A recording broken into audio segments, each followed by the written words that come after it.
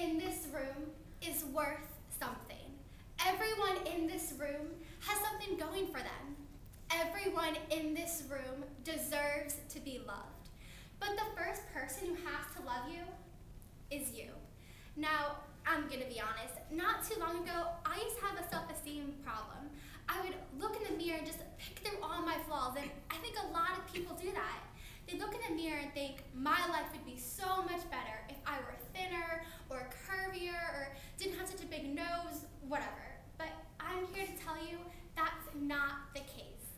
You are perfect.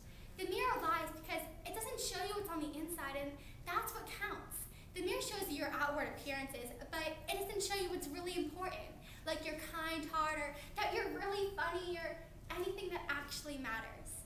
As Jenn Proske said, love yourself. It is important to stay positive because beauty comes from the inside out. I think you just have to let your pros outweigh your cons and forget all the things you don't like about yourself. Because if you don't love yourself, you'll never truly be happy. And if you don't love yourself, how can you expect to love life? How can you appreciate the beauty of life if you don't appreciate the beauty in yourself? So instead of saying, I'm fat, I'm ugly, I'm a loser, say to yourself, I'm smart, I'm kind, I deserve to be loved. Because you do. Everyone is worth something.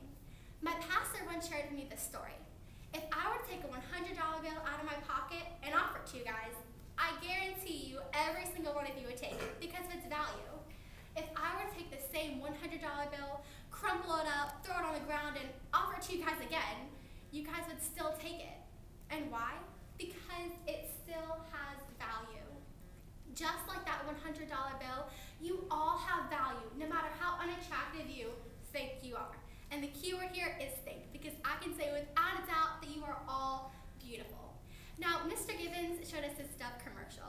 And in the commercial, some girls were asked to describe themselves to an artist who had to draw them based upon only their descriptions.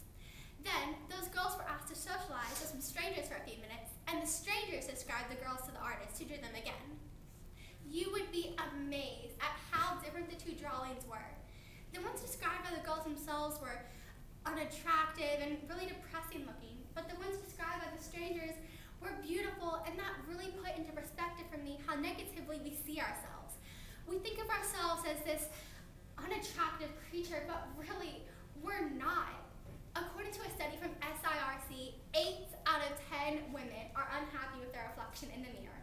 8 out of 10 women. 80% of the female population is unhappy with their reflection.